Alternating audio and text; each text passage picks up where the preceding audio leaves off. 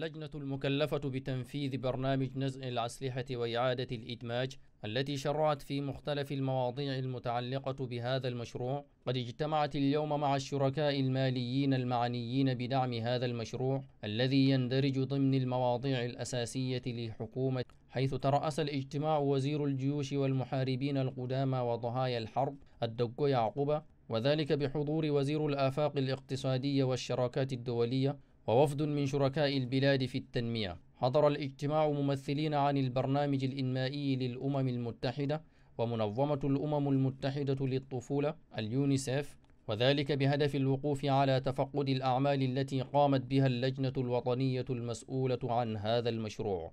المتمثل في تنفيذ نزع الأسلحة والتسريح وإعادة الإدماج وتم تقديم دعما ماليا بقدر 5 ملايين دولار أمريكي من قبل الشركاء. وزير الدفاع الدقو يعقوب أوضح للحضور حرص حكومة المرحلة الانتقالية في تعزيز السلام وتطبيق اتفاقية الدوحة. وشكر البرنامج الإنمائي للأمم المتحدة ومنظمة الأمم المتحدة للطفولة لدعم هذا المشروع.